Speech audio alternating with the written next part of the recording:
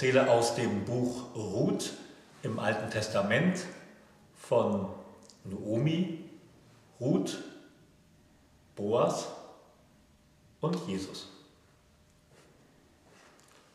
Ruth 1, Naomi. Zur Zeit der Richter brach im Land Israel eine schwere Hungersnot aus. Auch in Bethlehem blieben die Scheunen leer. In der ganzen Stadt gab es kein Mehl und kein Brot mehr. Da verließen viele Bewohner Haus und Hof und wanderten ins Nachbarland aus. Unter ihnen war auch ein Bauer, der hieß Elimelech. Er zog mit seiner Frau Noomi und mit seinen zwei Söhnen Kilion und Machlon ins Land Moab. Aber nicht lange danach starb Elimelech im fremden Land. Und nach zehn Jahren starben auch beide Söhne. Nur ihre Frauen blieben zurück. Ruth und Orpa mit Namen. Sie gehörten dem Moabiter-Volk an. Da sagte sich Noomi, was soll ich noch länger hier bleiben? Ich will wieder nach Bethlehem gehen. Denn sie hatte erfahren, die Hungersnot war dort vorüber. Gott hatte sich über sein Volk erbarmt. So machte sie sich auf den Weg. Orpa und Ruth begleiteten sie. Doch unterwegs sagte Naomi zu den beiden, Kehrt nun um und zu euren Familien zurück.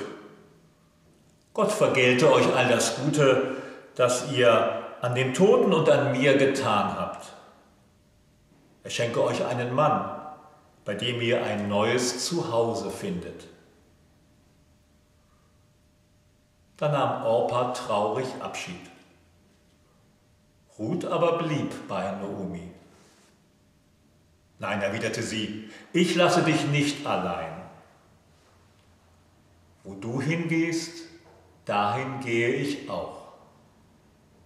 Wo du bleibst, da bleibe ich auch. Dein Volk ist mein Volk und dein Gott ist mein Gott. Wo du stirbst, da sterbe ich auch. Da will ich auch begraben sein. Nur der Tod soll mich und dich trennen. So gingen die beiden miteinander, bis sie nach Bethlehem kamen.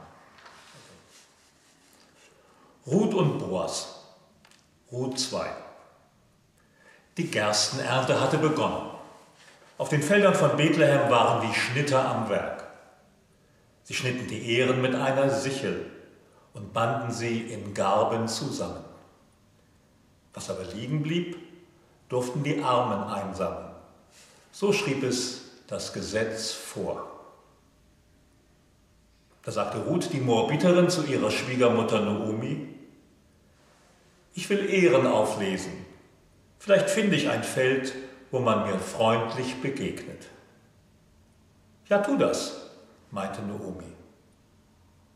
So machte sich Ruth auf und kam auf ein Feld, das Boas, einem Verwandten ihres verstorbenen Mannes, gehörte.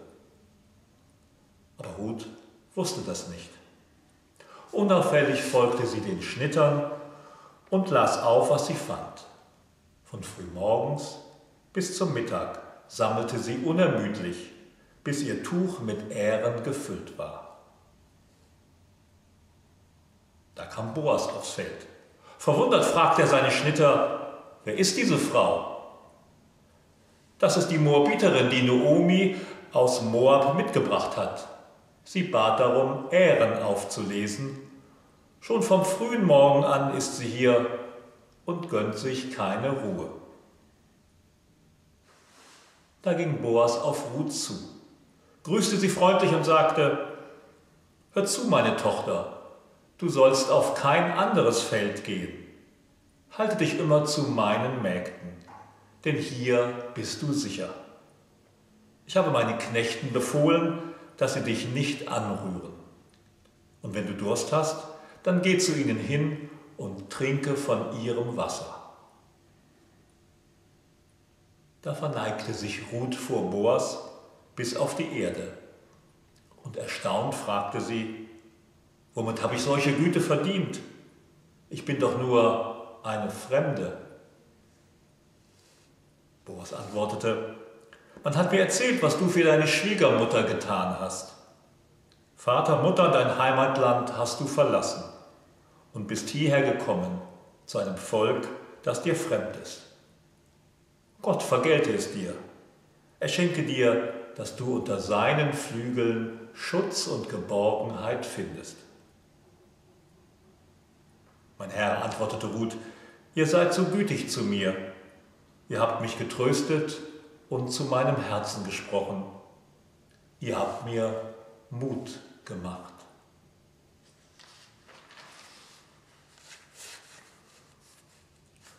Ruth 3 und 4 die Lösung. Von nun an ging Ruth jeden Tag auf das Feld des Boas. Und jeden Abend brachte sie ein volles Gefäß mit Gerste nach Hause, solange Erntezeit war. Als aber die Ernte vorüber war, sagte Naomi zu Ruth, meine Tochter, ich will dafür sorgen, dass du ein neues Zuhause bekommst. So höre auf mich, wasch dich und salbe dich und lege dein schönstes Gewand an. Dann geh heute Abend zu Boas.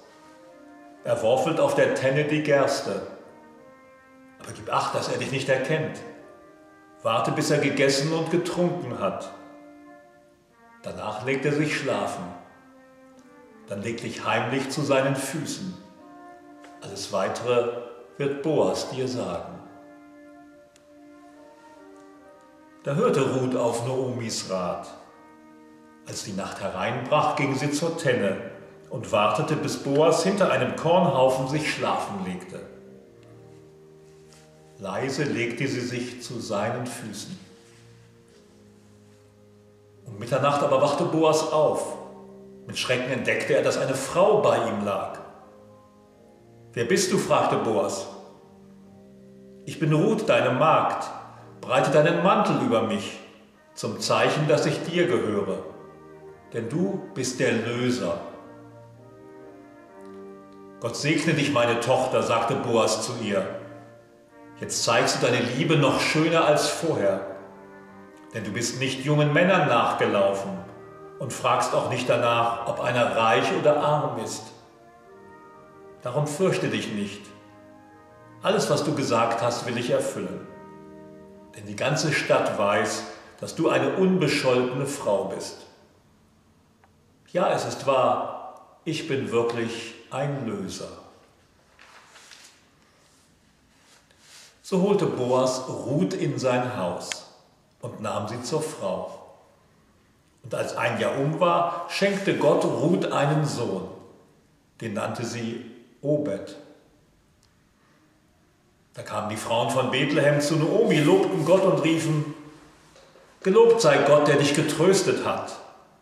Er hat dir einen Löser geschenkt, der dich im Alter versorgt. Deine Schwiegertochter, die dir mehr bedeutet als sieben Söhne, hat ihn geboren. Sein Name werde gepriesen. Dies ist die Geschichte von Ruth, die als Fremde nach Israel kam. Von ihr stammt König David ab, der König, den Gott zum Hirten über sein Volk bestimmt hatte. David war ein Sohn von Isai, Isai war ein Sohn von Obed. Der war der Sohn von Boas und Ruth. Amen.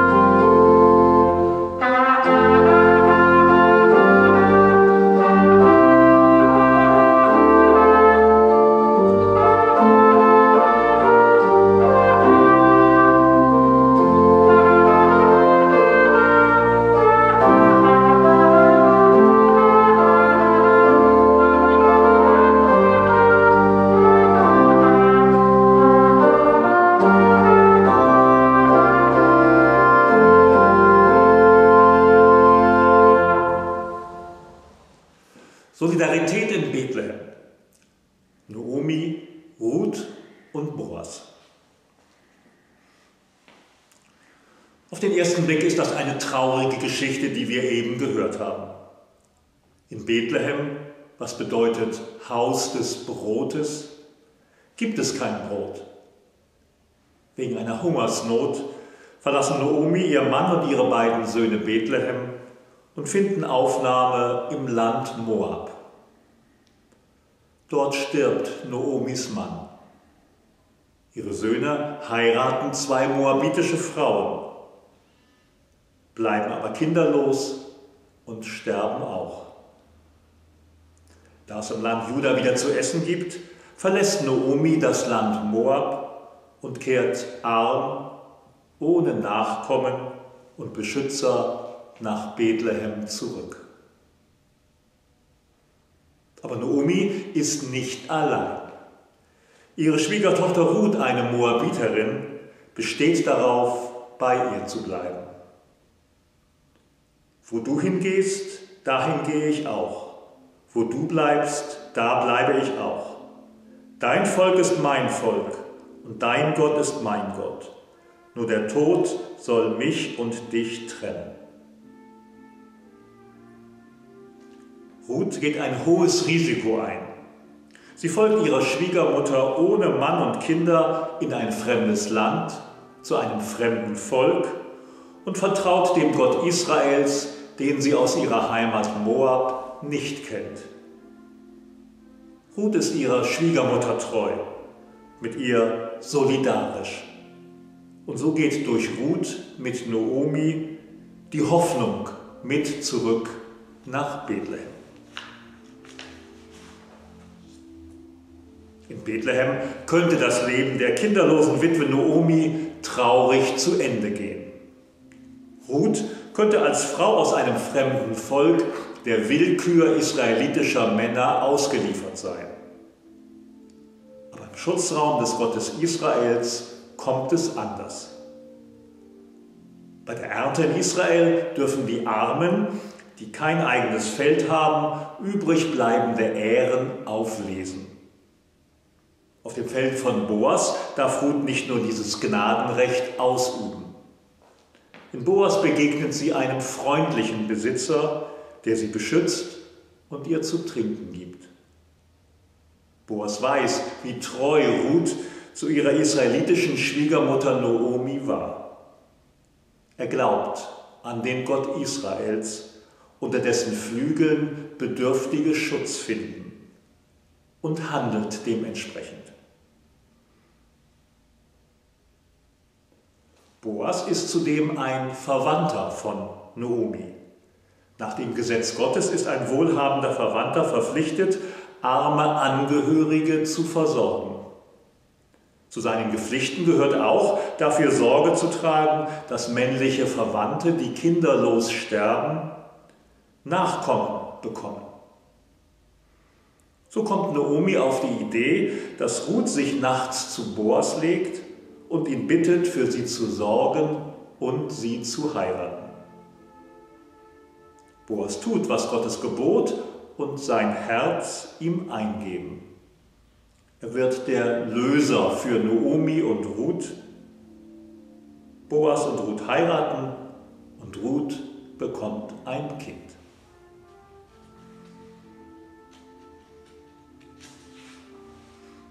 Das ist eine Geschichte aus alter Zeit mit Regeln, die nicht von heute stammen. Aber diesen alten Regeln leuchtet etwas von Treue zu Gott und von Solidarität mit Mitmenschen in Not. Ohne Ruth wäre Naomi allein und ohne Hoffnung nach Bethlehem zurückgekehrt. Ungewöhnlich treu ist Ruth zu ihrer Schwiegermutter Naomi.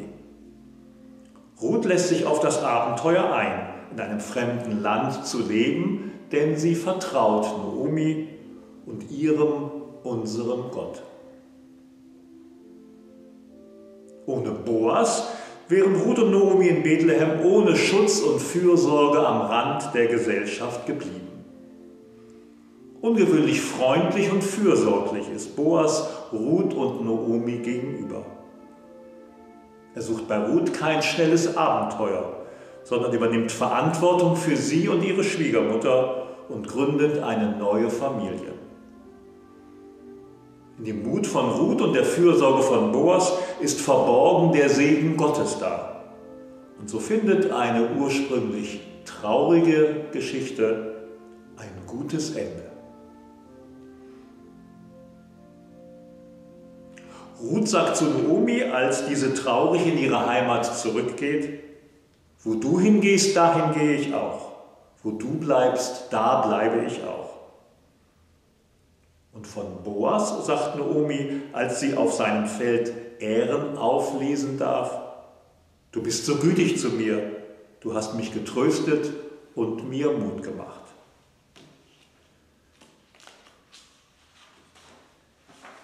Solches ungewöhnliche, mutige Verhalten aus einem liebevollen, gottvertrauenden Herzen finde ich toll. Gab oder gibt es auch in unserem Leben Situationen und Begegnungen, in denen wir im Glauben an Gott und in Solidarität mit unseren Mitmenschen mutig Neues wagen oder ungewohnt freundlich sind und so Gottes Segen weitergeben? Oder können und sollen wir uns so verhalten?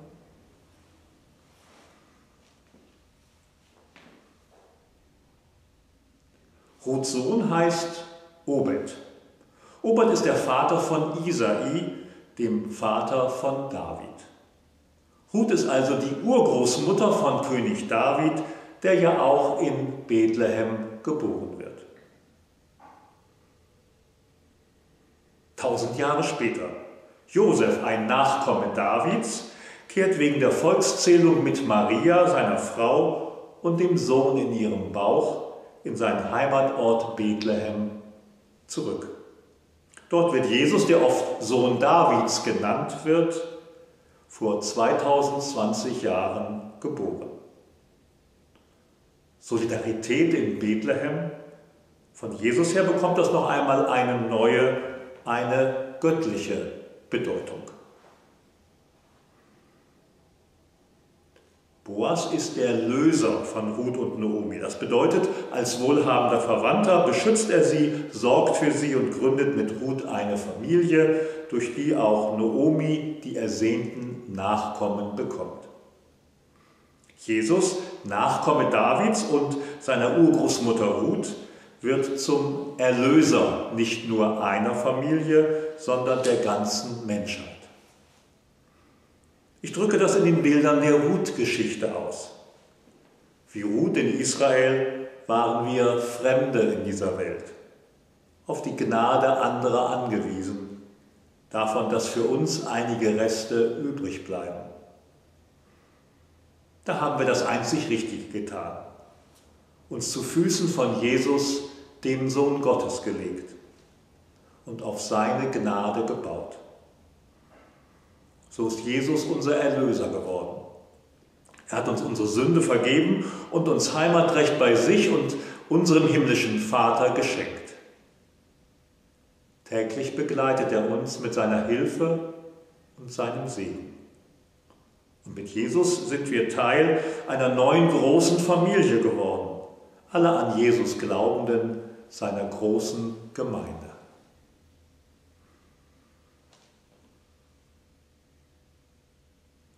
Auch die Worte, die Ruth zu Noomi sagt, als sie mit ihr nach Bethlehem geht, könnte, leicht verändert, ein Zuspruch von Jesus an uns sein.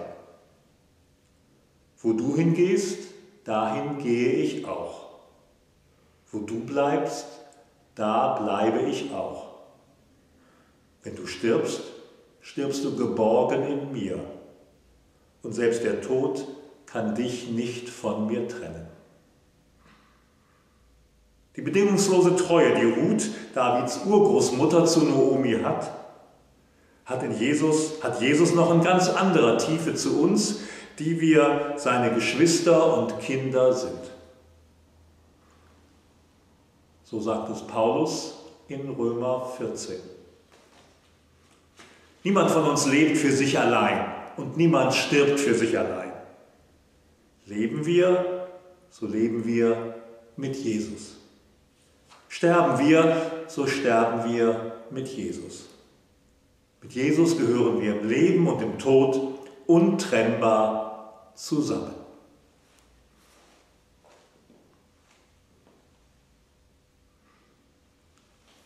Ruth und Boas sind in ihrer Treue und Fürsorge außergewöhnliche Menschen.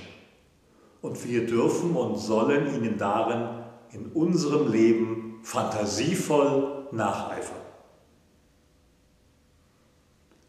Als Urgroßeltern von König David sind sie Vorfahren Jesu. Aus Israel, aus Bethlehem, kommt der Erlöser der Welt. So wird es im Alten Testament angekündigt. Vor 2020 Jahren ist dieser Erlöser, ist Jesus in unserer Welt erschienen. Und Jesus verspricht, in seiner Treue und Fürsorge bei uns zu sein, alle Tage bis zum Ende der Welt.